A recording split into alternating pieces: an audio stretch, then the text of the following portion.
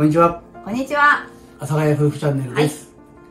今日もご覧いただきありがとうございます。ます。今日は皆様にはいご報告があります。ので、急遽動画を回しております。はい。はい。うんうん。うんうんうん。おかげさまで登録者数1000人を超えることができました。ありがとうございます。どうもありがとうございます。最初から見てくださって応援してくださる方、そして前回、今週月曜日のそうですね。月曜から夜更かし見ていただいた皆様、もう応援のメッセージとね、たくさんご登録をいただきました。ありがとうございうま。ございますす。もう温かい皆様からのコメントに、もう毎日毎日夫婦で喜び合ってで励ましされています。本当にありがとうございます。ありがとうございます。これからも夫婦で力を合わせて頑張ってまいります。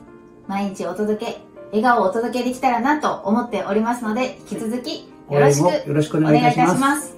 やっぱりね、やっぱり皆さん、こんな早い時期に1000人を超えたいやーもう夢のようですうん本当にね。奇跡は月曜から夜更かしを見ていただいた方が本当にたくさん多くて、たった30秒ぐらいの動画で、はい。しかも、阿佐ヶ谷夫婦チャンネルって私は言ってないうんですよ出てきてないです、ね。画面のところにちっちゃくそ阿佐ヶ谷夫婦チャンネル、それをもうう見ていた探してだいていただいて、そこからね来ていただいた本当にありがとうございますびっくりしました。もう皆さんがいっぱい嬉し、もう励ましのコメントをね、いただいて、こう料理教室をね、うん。コロナで全くできない状況の中で YouTube をスタートしましたということに皆さんこう、本当にこう応援したいという気持ちが本当に伝わってね、嬉しかったです。夫婦で15年ぐらいあの料理教室を頑張ってやってきたんですけど、平日はね大人クラス土日は親子クラスなどねもういろんなクラスをねねお酒のお酒のク会とかも。ラスとかねいろんなクラスをやってたんですよ、うん。それがまあコロナでできなくなってまあだからコロナが発生した年と今年なんかは2回ぐらいしかやれてないんですよね教室を。恒例の梅干しとうん。クリスマスのそれだけでしかもそれもすごいあのあの感染対策をしてあの参加人数を減らしてっていうことでやってたんですね。でももう全然教室はできないし、まあ、YouTube やろうかってやったらあのかあのやっぱり登録してくださる方ってなかなか増えないっていう状況で まあ私たちもねどうしたらいいんだろうっていうふうにね頭を悩ませました、でそれでねあのあの番組月曜から夜更かしに出させていただいて。たまたま本当高円寺をね散歩してた、あのらあのこプラカードを持ってね、最近のニュースありませんかっていう月曜から夜更かしのスタッフの方がずっと立ってた高円寺の駅のところに、そう。最近のニュース？そういえばってね夫婦で目を合わせた、私たち阿佐ヶ谷夫婦チャンネルやってるけど、けどうん、ちょっとどうしたらいいんだろうっていうのをお悩み相談室みたいにして飛び込んだんだよね。そう。出演の承諾書がねこんな束になってあって。いやこれはもう僕らはねあのちょっとうん。ないまあないだろうねお蔵入りだなと思って。思ってました。そしたらねあの電話がかかってきてね、うんそう。本当感動しました。夜中の番組だからあのそんなねうん。お手伝いできないかもしれませんがって言って、うん、期待しないでくださいねって言われたんですよ。でも放送したら。もう見てくださった方がもううわーっとねほんとびっこうくりしたね。登録だけじゃなくてたくさん応援メッセージいただいてもうねなんか本当に嬉しかったです。本当にありがとうございます。ありがとうございます。これからもねあの頑張っていこうって2人で話し合いましたはい。その日の夜にね、そう。それってまだマル秘話があるんだね。うん、その日の夜に、うん。あの夫婦でテーマ飲みって言ってあの飲みながら喋るっていうのをやったんですよ。インタビューをね、うん。受けた日のそその夜に撮った動画っていうのがあるんですよ、そう。夫婦で飲んでいるなんか。そう。ぐだぐだぐだぐだ喋ってるんですけどね、私がめっちゃ笑ったっていうね。本当にあここら辺にリンク貼っときますけど一応。あの日の散歩ネタが、インタビューを受けた日の出来事だったっていそうことをイメージして、またもう一度見てもらうと 笑うよね。はい。ということで。登録者数1000人超えた、1000人を超えたやったよ企画、皆様にお届けする企画がございますよね。はい。これまで、えっ、と、2月の末、3、4、5、6か。うん。大体3ヶ月、4ヶ月弱、毎日お届けしたんですけど、い。それまでの中で、えー自分でテーマをお互い決めまして、そうですね。その中であのーまあ見てもらいましょあ、そうだね。ははいい。まず私私、なんだろう。はい。はいギャップ萌え国選2本ということで、えーおー。今日あの料理をご紹介させていただきたいと思います。どういう意味ですか？はい。ギャップ萌えというのはですね、はいじゃあはい何ですか？これです、ズバリ。何ですか？疑いから感動へとおーいうこのギャップですね。あの、疑いというのはですね、あの、まあうん。うんこちらが私に、あの、こういうのやりたいんだけどって言ってきて、私は、いや、それはさすがにちょっと、需要ないんじゃないの？っていうことで、誰も見ないよとかね。そう、誰も見ないんじゃないって言って何度も、あの、言って、それであの、特前のまあ喧嘩をしたという。そのその都度ボツになってっていうのがあって、でも何度も何度も言ってくるんですよ。やりたい。どうしてもやりたいというので、そうね。そこまで言うんだったら、じゃあやろうかっていうので、あの、やったんですね。うんうんうん。そしたら、えこんな内容だったの？っていうふうに、私がもう一番びっくりしたっていうか、まずね。そう。つまり、この疑いから感動へと変わったわけですほうほうほうほ。うそれを、あの、二つだけご紹介させていただきたいと思います。もうちょっとあるんでしょ？いっぱいあるんですけど、あ いくつかあるんですけども、特にというので、あー、なんだろうね、皆さん。これです。はい。一つ目が、うんエアリーグリーンサラダです。あー、確かに。これね、あの、野菜をね、あの、ただ盛り盛り付けるだけなんですよ。レタスのサラダをやりたい盛り付ける。そう、うんそれだけなんですよ。で、それってドレッシングも紹介してるんだっけ？ちょっと佐藤せっかでもおまけ。そう、あの、あの、メニューの本本筋としては、その、盛り付け方っていう。うんえ、それ、レタスを盛り付けるだけの動画でしょ？それって、見るかな人って私は言ったんですよ。だうんうんいや、これはもうどうしても伝えたいっていうので、やったんですね。それを見て私は、もう本当に感動しました。え？これはやりたかったっていうのはわかるなって思ったんですよ。あの、もうこれもう見ていただくと本当にわかると思います。あの、完全保存版になってます。それほど私も感動したし、あ、本当にこういうことなんだなって思いました。もう日頃から料理ってちょっとしたことで変わるよねっていつも言ってるんですけど、本当にそれをすごい感じた動画だったんですね。で、二つ目がですね、このコスパ最強ステーキ。最近のやつだ。そう、これ最近のやつなんですね。うんうんこれは何がその疑いかっていうと、あの、いや、美味しくないでしょと思ったんですよ、正直うん。これ、あの、冷凍した、あの、安いお肉を焼いたらすごく美味しくなるっていうやつなんですけど、丸ごとその冷凍した肉を解凍せずに焼くんですよ。うんいや、それ美味しくならないでしょと思ったんですよ、正直。確かにね。だけどね、うんうん。もう食べてみて、びっくりしました。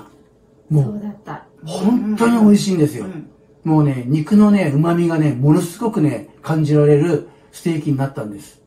それは、丸ごと冷凍してるステーキだから、この味になるんだっていうのを、まあ、聞いて、はーっと下感動。ね、うんそ。のちょっとした。そう、感動し、本当に感動しました。はいはい。この二つが私の、あの、ギャップ萌えの 特選2本です。概要欄と、うんあと画面のこここら辺にね、貼っておきますんで、あの、ご興味持っていただいた方は、ぜひご覧ください。これねもう決して損をさせません。本当にすごいんで。このエアリーグリーンサラダ、初めの方でね、やっぱり見ていただく方は少なかったにもかかわらず、回数が増えて、おー、すごい回数でした、今でもエアリーグリーンサラダ作ったよって写真送ってくださる方も多いうんうんうんうんドレッシングもチャチャッとできるしね、好評なんで。あの、リンクも貼っときますけど、エアリーグリーンサラダ沼津リエで検索してもらうと出てきます。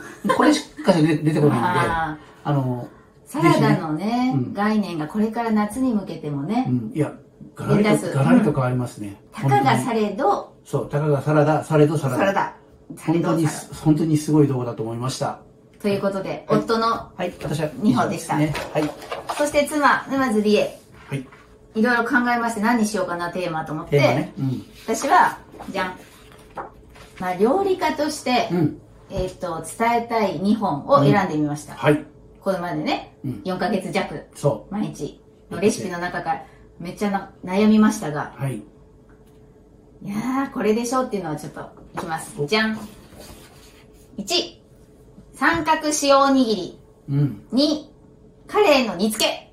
う。うんーん、渋いでしょ？渋いね。三角塩おにぎりの、まあ、動画ではもう熱く語っているので、そちらをね、ぜひ見ていただきたいんですけど、まあ、おに、されど、たかがおにぎり、されどおにぎりなのね。うんまあ、最近ラップでとか、いろんな具沢山のおにぎりが流行ってるけど、あとまあコンビニでもね、買えますね。簡単に買えたり、でもちょっとね、あの、昔を思い出すじゃないけど、塩で結んだおにぎりって本当に気持ちが伝わってあったかくなる。あとと材料って、ご飯と塩、まあ、うん海苔があるけど、うんまあ、それでこう、コミュニケーションも取れたね、私たち。うん夫もね、握った私も三角に挑戦したんですけど、うんなんかこう、わざわざいろんな具材をね、食材を準備して、はやろうっていうのも楽しいけど、おにぎりというね、まあ、基本の木ですね。しうん塩おにぎり。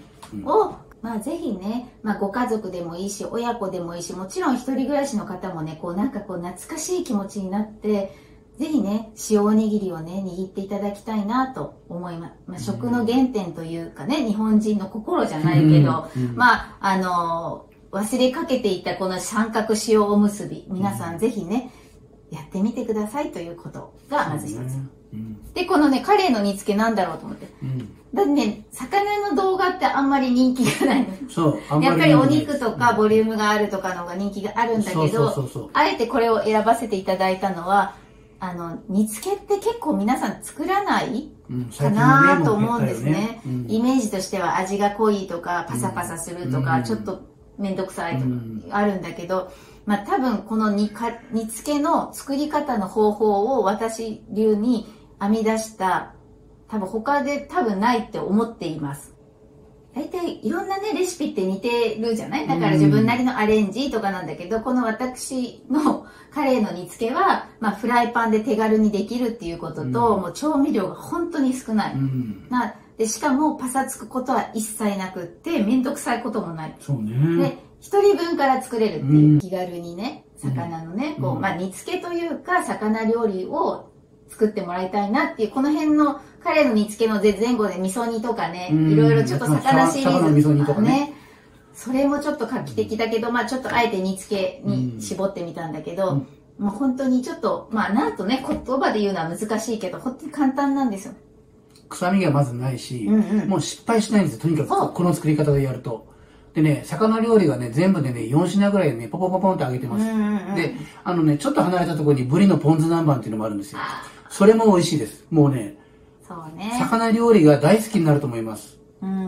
うん。ちょっとね、こう振り返り、魚料理っていうカテゴリーもね、うん。あるから、そちらでね、確認していただいてもいいし、まあ、ちょっと私のね、料理家としての思いを、こう原点をもう一回考え、みて、ほっこりしたいねっていうことと、こんな時代だからこそ、なんか、おにぎり。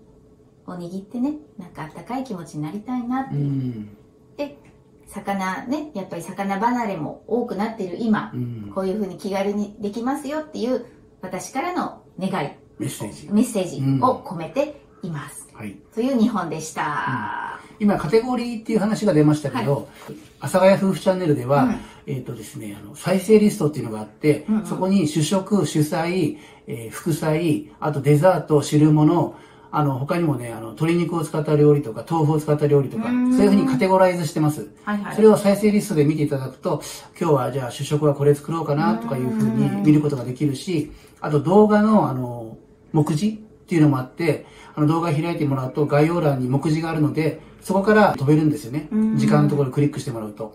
そういう機能もあのつけてますので、あのぜひね、ご活用ください。